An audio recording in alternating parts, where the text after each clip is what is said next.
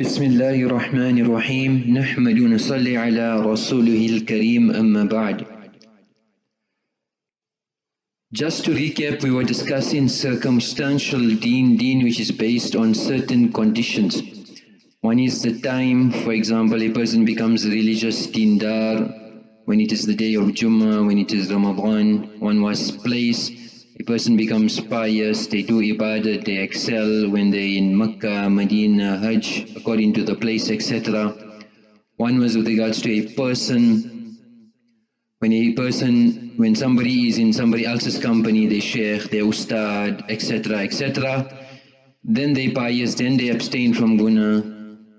The fourth one was condition. A person turns to Allah when halat are there, when halat in conditions are gone, then they forget Allah subhanahu wa ta'ala and we're busy with the fifth one which is routine where routine comes in our ibadat, in our amal, in our daily life and we lose the nur, the essence of that ibadah. This is the fourth part of that routine. So if there was an opportunity or a time for a person to perfect amal, then this is the best time.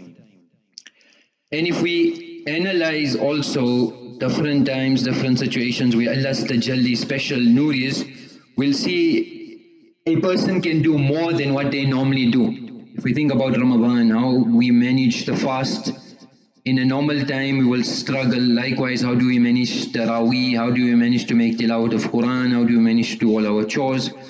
Ask a person who goes for Hajj, how does he manage to walk the distance? He, he, he cannot believe it in his wildest dreams. How did he manage to do so much? Ask a person who's made tawaf in the month of Ramadan, in the hot sun, during the day.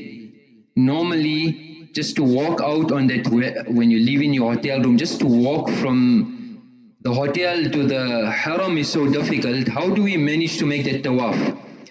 So when Allah subhanahu wa ta'ala special tajalli anwarat are descending, and as discussed previously, whether it's on a certain time like Ramadan, whether it's a certain place, the Baytullah, the Masajid, etc.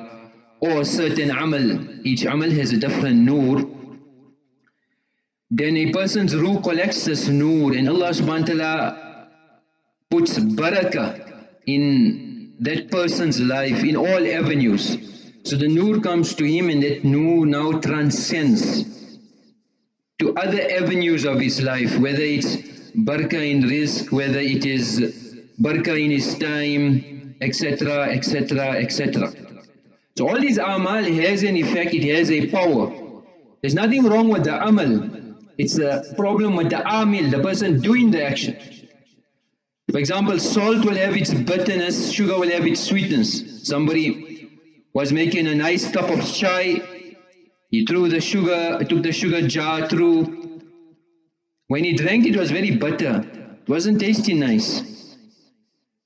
So we went to check the sugar jar and somebody poured salt in the sugar jar. So it was labeled sugar, but there was salt inside. So sugar will have its effect, but it's in the wrong place.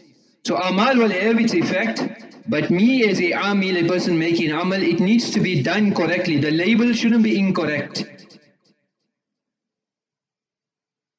So, when I'm doing this amal, Allah subhanahu wa ta'ala has commanded me to do this amal. And if I do the amal how it should be done, then Allah's help will be with me. So nowadays also, just the mindset, mizaj of Shariat a person whose dunyawi problems are solved is happy. So for example, a person got a business problem and we should do this and we should be doing this as well. But the, the example being given is us just to open our horizons and think deeper. So his business issue got problem solved, so he'll attribute it to Allah. Alhamdulillah, Allah solved my problem. He had a court issue, he turned to Allah, his problem got solved. He was in a sickness, etc. Whatever issue a person had, financial problem, business was slow. Now he turned to Allah and Allah opened up a way. So he will say that Alhamdulillah, Allah subhanahu wa ta'ala always finds a way for me. But we need to think deeper. Because we, we not in dunya to solve dunya only. Deen primarily was we practice on deen how Allah has commanded us. By practicing on this deen, now Allah automatically will solve our dunyawi problems and akhirat problems. But primarily we want to sort our problems of akhirat. By the way, so as the Shaykh Rahimullah used to explain, he said, foolish is a person who buys a cow for the sake of the dung. So in India, other countries, we see um, people utilize dung for fertilizer, for fire, etc. So a person goes to the marketplace and buys the cow for the dung, we'll say he's very foolish. He said intelligent is a person who buys the cow for the milk and automatically he'll get the dung for free. So if I get my akhirat right, I get my amal right, I get my ta'alluq and connection with Allah right, automatically Allah will solve my dunya. He said if a person asks for a glass, he'll only get a glass. But you ask for water, you'll get the glass worth it. So I'm asking for dunya, I'm not getting deen, I'm not getting akhirat, I'm not getting Allah. So that's a great loss. وَالْعَذَابُ الْآخِرَةِ أَشَدْ فَمَنْ زُحْزِيَ عَنِ النَّارِ وَادْخَلَ الْجَنَّةِ فَقَدْ فَازَ the criteria of success in dunya and akhirat is a person gets his deen right. So when our dunyawi issues are sorted out, that, that, does that register how, how much, if I want to solve my problems of deen, how much jazba and desire and ambition do I have for deen, the knowledge of deen. So how much every day do I take out time aside, example, to learn Quran with tajweed, how much time do I take aside to learn Masail? Basic Masail. It's the month of Ramadan. Did we study all the Masail of Ramadan? Our, a person does business to know the, know the Masail of business. Um, in the time of Maulana Ilyas a traveler stopped at the local masjid and the young girl was playing outside the masjid. So the traveler read his salat, was having lunch and something got stuck on his tooth. So there was a, a jaru, a broom. So he went and to, to break one fiber from that broom because he wanted to take out a morsel that was stuck between his teeth. So when he did that, she said, Cha, cha, cha, what you doing? He said, I'm just cleaning my teeth. She said, do you know that that thing which is worked for the masjid cannot be used for private use? The broom is waqf. The fibers of the broom are waqf. You clean your teeth. So even a youngster, a small girl, in those days knew the masail of waqf How much masail of deen do I know? So how much we give, how much do we, of our time, our resources, our energy, our potential are we using that's how much you will expound and benefit from that.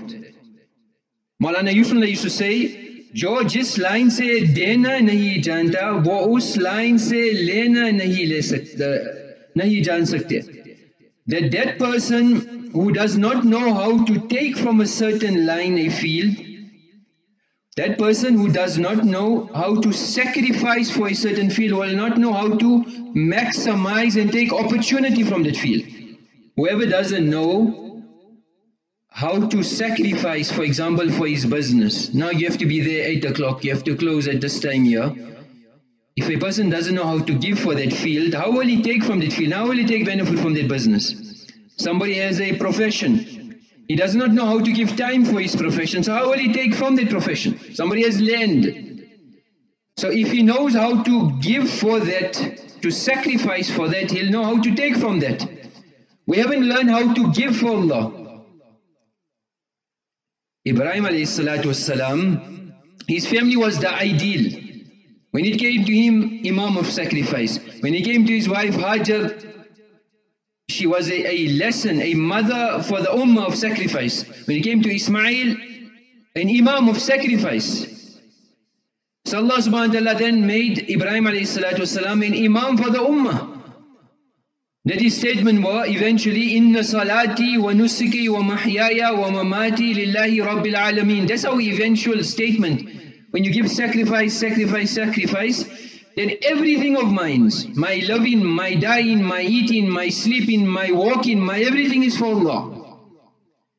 So when you give for that line, now you're giving for deen, you sacrifice some deen. Now you can take from deen. So it's an easy formula. I'm giving for worldly matters, I'm sacrificing, I'm getting right, I'm getting the equation right. But for deen, how much am I giving? If I'm not giving, how, how, how am I able to take and maximize benefit? Mawlana Sayyid Khan Sahib used to say, if you in anything, that thing will come into you. Whatever you in something, that thing will come into you. So he said, if a person is in a shop, all the shop will come into him. A person is in deen all the time, so if you're making the effort of deen all the time, then deen will come in you. If in the path of Allah, the path of Allah will come in you. So whatever we are in all the time, whatever our external, that will become our internal. There was one bungi in the olden days, they used to have people used to clean toilets, and they never had the sewage system like we have today. So he was walking one day and he passed the itar shop. So as he passed the itar shop, the fragrance was too good for him, so he fell unconscious. So people came, they tried to revive him. They, they, they couldn't. One of his friends, compatriots, associates that he was working with, seen him, he said, hey, this is my sati, let me go help him. So he went to go look for some dirt, some excreta, and he brought it close to his nose, and he regained consciousness. So he was so accustomed to that smell that it became his second nature. And he was so distant from the smell of perfume that it harmed him. So a person that's always in evil, in wrong, in haram, when haram is brought to them, they become vibrant, they become energetic. When tashkil when, they when, when opportunities to do wrong comes close to them, they become vibrant and energetic. He was unconscious, he got conscious. And when good is brought to him, he fell unconscious. Means when those people who are involved in wrong, when you bring good to them, so a person is not ready for anything, his friends told him, one o'clock in the morning, I'm ready in the middle of the day in bright sunlight while he's free, Jamaat comes and makes his mom, I'm busy, I got, I got no time, I got other important things to do. And the converse, a person is in deen all the time. Now when the tashkil good is made, you are attracted, you, you want to do it more. And when evil is brought to you, then you fall unconscious. You stay far away from that, you run away from it. So we need to check to get this kafiyat, this condition of these amal, we need to check ourselves. What am I giving my time for? And what am I using my wealth for? And like that also we can check in different amal. For example, tilawat of Quran. Somebody gets a letter from their beloved. First, when they just see the letter, Obviously, in the olden days, people had the access of getting letters. Nowadays, it's just text messages. It's, it's, it's, a, it's a dead society. But anyway, he gets this letter, he looks at it, he embraces it, he keeps it close to his heart by his pocket. He doesn't open it. Then after a while, he smells it. And when he opens it, he doesn't shred it, rip it off quickly and just reads the message. No. He takes time, he opens the envelope slowly, then he takes out the letter, then he smells it again. And then he starts, after inspecting the letter, he starts each alphabet, each, each word is, is, is an ecstasy, it's a pleasure for him. So that's for dunya. For kalamullah, the word of Allah, I'm reading the word of my Allah, the creator of the entire universe, what kayfiyat, what condition, the power of the Quran is what? لو أنزلنا هذا القرآن على جبل جبل لرأيته خاشعا متصدعا من خشية الله it was descended on a mountain the power of the Quran is it would have shattered the entire mountain وَلَقَدْ يَسَّرْنَا but Allah subhanahu wa ta'ala has made Quran easy for the believers he's made us hard have the potential to the capacity to maintain and manage this Quran. Otherwise, even a mountain will become ashes, dust. This is the power of the Quran. يتفجر منه الأنهار that rocks can break, water comes out of it. But when the heart is hard, then this Quran will not affect it. It will affect a mountain. It will shatter a rock. But when the heart doesn't have the connection with Allah subhanahu wa ta'ala, then alam ya'ni lilladhina amanu has the time not come for the people who have brought iman and takhsha qulubuhum li that when they hear the Quran, the, the, do their hearts not fear and shake and tremble? Such a powerful Quran and your heart has become so hard. Has our hearts become Quran proof? Has our hearts become dhikr proof? Has our hearts become hidayat proof? So it will happen when a person commits a guna, a black spot, another black spot, eventually the heart is enveloped in darkness. So we need to be checking ourselves. A person is making dhikr. You take in the name of Allah. Somebody who's busy engaged in something, he just hears the word Fatima. He stops on his tracks. That's his beloved. He forgets everything. He goes in a trance. I hear the name Allah. Allah. What does it do to me? In the olden days, poets used to write poetry. So a poet wrote a beautiful poem the audience were thrilled, the king was perplexed and happy at the poem. The poet was given a bag of gold. He was thrilled and appalled by the prize. So the poet got happy, he benefited. The king was happy, he was praised. The audience were thrilled. But the poet himself spoke a lie. What he praised the king was a lie.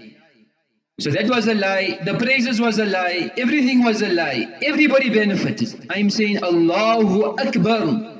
Allahu Akbar. How many times in my salah do I say Allahu Akbar? How much if I'm reading Taraweeh, I said Takbir. How much times we hear the Adhan, the Muadhin say Allahu Akbar? How many times in one day Allah is greater than every thought, every atom, every molecule, everything in the world. Allahu Akbar. Did the greatness of Allah enter my heart or not? May Allah subhanahu wa ta'ala give us the tawfiq of getting His greatness. The amal for today, yesterday we done to be particular about the four rakats before Asr Salah. The time after Maghrib is also a Mubarak time. We should at least read the six, six rakats of Awabin. If Allah gives tawfiq, then till Isha. من صلى بعد المغرب ست ركعات لم يتكلم فيما بينهن that a person who reads the six rakats after Maghrib and he doesn't speak to anybody You will get the reward of Thinte Ashrat Sana, 12 years reward of ibadah. Man salla ba'd al-maghrib 20 rak'atan. If Allah gives somebody tawfiq to reach 20 rakat, banallahu lahu baytan fil jannah. Allah subhanahu wa ta'ala will build for him a palace in Jannah. And it is said about Nabi alayhi salam, a sahabi as Huzayfa radiallahu anhu, that I came to Nabi of Allah, we read Maghrib Salah, I was with him. فَصَلَّى إِلَى الْعِشَاء He busied himself till Isha. As one scholar said, I went to visit Hazrat Sheikh once, Mufti Zain al-Abidin, and I waited for him after Maghrib. And he said, what I read in Quran and Hadith, I witnessed it with my own eyes. I seen him in sajda, and I thought, so he won't wake up. Something has happened to us at Sheikh. And from the time of Maghrib till Isha, he busied himself in ibadah. So whenever did I read a salat like that, we need to think. And the amal for today is the dua to read seven times in the morning and evening حسبي الله لا إله إلا هو عليه توكلت وهو رب العرش العظيم Whoever reads it seven times in the morning and evening كفاه الله ما أهمه من أمر الدنيا والآخرة Whatever concerns, whatever worries, whatever stress you have of your worldly concerns and your akhirat concerns. And when we read in this dua, we must have yaqeen in this. Whatever concern, whatever grief, whatever worry, whatever stress, whatever problem, whatever anxiety I have of dunya and akhirat, Allah subhanahu wa ta'ala will suffice for his needs. وآخر دعوانا أن الحمد لله رب العالمين